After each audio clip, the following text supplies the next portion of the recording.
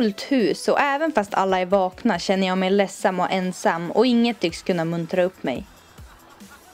Kanske skulle en mun mot min hjälpa lite grann. En grann pojke i min säng, en mjuk kropp utan någon press att ta på den där kroppen. Det skulle vara droppen, toppen av vad jag pallar med av en pojke i min säng. Jag vet att du är snäll egentligen och jag vet att du inte vill skada mig egentligen men jag vet också att du inte förstår vilken makt du har över mig. Som att för att vi hånglar har jag skrivit på ett typ av kontrakt att vi ska ligga. Du ska få ta på min kropp hur mycket du vill och jag ska ta på din kropp och du ska in i min kropp och något stopp har jag ingen rätt till för det är redan igång. Det var igång för flera ögonblick sen. I det ögonblick jag bjöd in dig till min säng men det kan inte funka så, det fungerar inte då.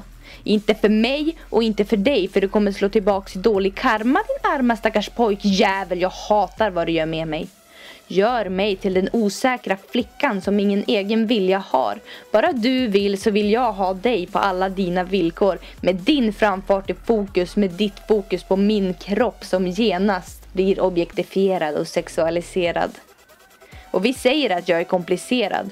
Som ett försvar för hur heterosexismen tränger sig in i oss och strukturerar oss till man och kvinna, stora och lilla, bra och illa. Problematisera mina tjänster till inget annat än hokus pokus, en alltför tänkande persons förvirrade sinne och inte att dina handlingar är kränkande och sänker mig och min respekt för mig själv. Jävligt suspekt beteende och du ska veta att min respekt för dig försvinner mer och mer.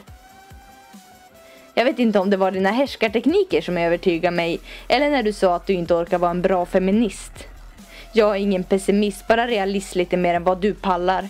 Jag är heller ingen sur fitta och någon våt fitta kommer jag heller inte få om du beter dig så och aldrig kommer du få komma in i mig. Aldrig kommer du ha rätt till min kropp och absolut inte innan du fattat att du är den slempropp som sitter i vägen för mig och min frihet. Men du din jävel letar nitiskt sätter bort förklaringar och försköningar av verkligheten för att du ska kunna fortsätta i ditt mönster och vara kritisk till alla de röster som talar om för dig att du är den jävla slempropp som sitter i vägen.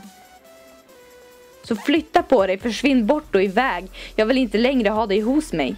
Du gör sängen trängre, förvirrar mina tankar och förvärrar mina drömmar. Och i sömnen tar du på min kropp. Och jag har svårt att finna en anledning till att stoppa dig. Som om min ovilja inte är anledning nog. Men du förstod nog av reaktionen i min kropp att jag inte har någon som helst lust.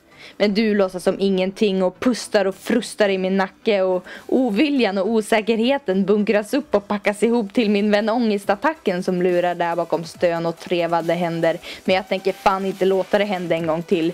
Jag tänker inte låta din vilja övertala min ovilja. Det gör mig illa. Och skulle du tänka efter bara en sekund skulle du förstå det också.